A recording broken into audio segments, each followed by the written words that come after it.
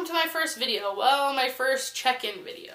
So today I'm going to be giving you my natural waist measurement, my current waist measurement with the corset on, and what my starting weight is, which I really wish I didn't have to share, but you know what? It's going to be great looking back at this video in a year from now being like, hey, I lost X amount of pounds. I'm no longer this weight.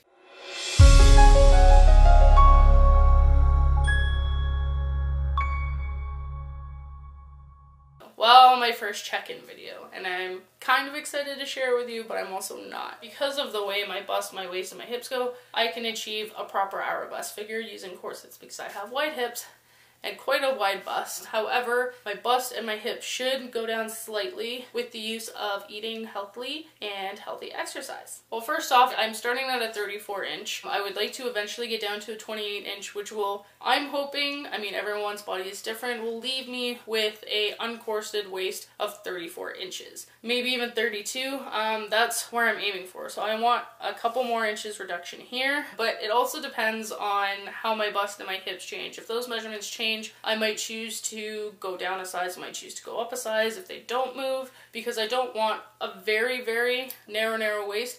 I do want the hourglass figure, but I also don't want to feel like Jessica Rabbit. My starting weight. So my starting weight, unfortunately, is 195 pounds. Technically obese, so I definitely need to bring that down. So realistically, my end weight goal is 165 pounds. Whether I can lose a full 30 in a year or not, I'm not sure. I'm going to do my best, but I'm going to make myself have smaller goals every couple of months to try and attain those. Starting weight is 195. I'm hoping to get down to 165. I'm just not sure if I can do that in a year, especially after over the last year my body body being in starvation mode and losing 40 pounds while being pregnant. That's another thing. Me personally, it's going to be a little different weight loss than everyone else because my body is currently in something called refeeding mode, which is essentially once you start eating, again, after being in starvation mode, your body stores all your food, all your calories, and it gives you fat. I have to be really careful as to what I eat. I've been trying to eat as many fruits and vegetables as possible, more on the healthy side. So that's my first check-in video. I'll have check-in videos for you, give or take every month, providing I've made enough progress to show you. Starting measurement line, as it is, I'm not super impressed with my measurements, but they are going to change. At least minimal, my waist will uh, change, which is something I'm looking forward to. So this time around, it's a lot different. I have healthy recipes for you and your kids to make together. I have exercises for you to do with your kids, and I'm really, really excited to bring everything to you. Thanks so much for watching. This has been Jen with True Corsets